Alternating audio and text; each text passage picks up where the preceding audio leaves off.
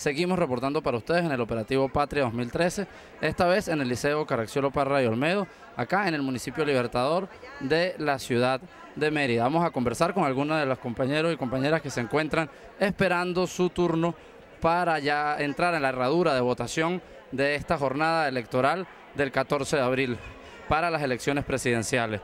Buenas tardes, compañera, disculpe, nos dice su nombre. Miriam Salas hasta ahora está esperando su turno para, para votar, sin embargo, hasta ahora, ¿cómo le ha parecido el proceso, lo que ha apreciado fuera del centro? Eh, ¿Siente que ha transcurrido con, tranquilidad o, o, por el contrario siente que ha habido algún inconveniente? No, para nada, todo está muy normal, muy tranquilo, la gente muy educada y formal para realizar su voto, su derecho al voto y eso es lo importante, crear y, tener una, una Venezuela bella. Ok, con respecto a procesos anteriores, ¿cómo le ha parecido la participación en esta oportunidad? Igual, igual, en otras ocasiones, el 7 de octubre también fue muy legal, muy tranquilo y todo bajo los parámetros que uno espera. Bueno, entonces si, si está igual que el 7 de octubre, pudiéramos afirmar entonces que hay una gran participación, recordando que el 7 de octubre eh, fue un récord en participación respecto a los procesos eh, de elección presidencial. Por acá tenemos también otro de los compañeros que ya ejerció su derecho al voto y también nos puede dar su testimonio. Buenas tardes, compañero, nos dice su nombre. Buenas tardes, William Ávila, ¿verdad? Eh, bueno, en esta mesa pues prácticamente todo se ha manejado pausadamente, ¿verdad? Y la gente se está asistiendo a votar. De todos modos le hago el llamado a todos los merideños que vengan y ejercen su verdadero voto, que Venezuela es una, ¿verdad?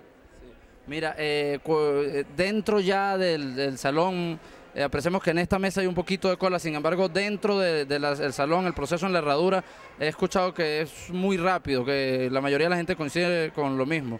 Eh, ¿Puedes afirmar esto? ¿Te parece muy sencillo la votación? Eh, de verdad sí es bastante sencillo. Es nada más colocar su pulgar, ¿verdad? Ella automáticamente registra y luego pasas, vota y luego te, te limpian, ¿verdad? el pulgar y listo. Referente a otros procesos electorales, ¿cómo has notado la participación de la gente en este centro? Conchale, de verdad sí ha estado viniendo las personas, ¿verdad? Eh, vamos a decirlo graneadamente.